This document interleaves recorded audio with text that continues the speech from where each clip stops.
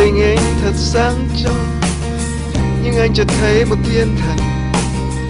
Và anh rất chắc nàng cười với anh trên tàu điện ngầm. Nhưng nàng đi với thằng khác.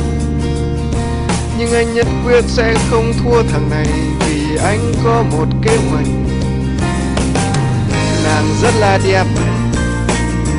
Nàng rất là đẹp.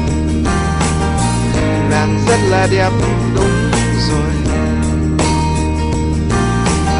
đã thấy em lặn vào một đám đông người.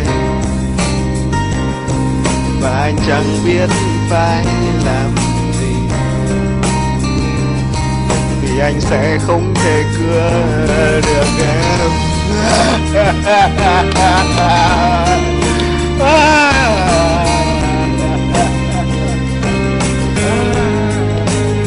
Đúng thế, nàng tôi phải nhìn.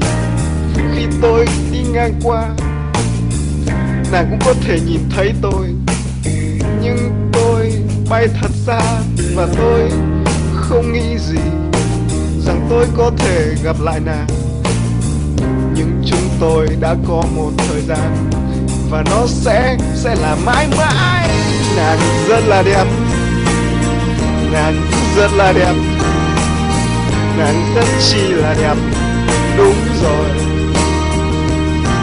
Anh đã thấy em lặn vào một đám đông người.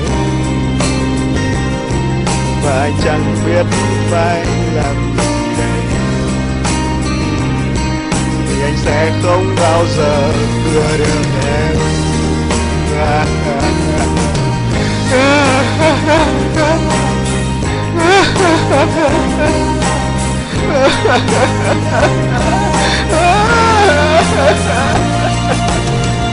nàng rất là đẹp, em rất là đẹp em rất chỉ là đẹp, đúng rồi. Phải có một thiên thần với nụ cười trên gương mặt em khi nàng nghĩ đến tôi, sẽ ở bên nàng.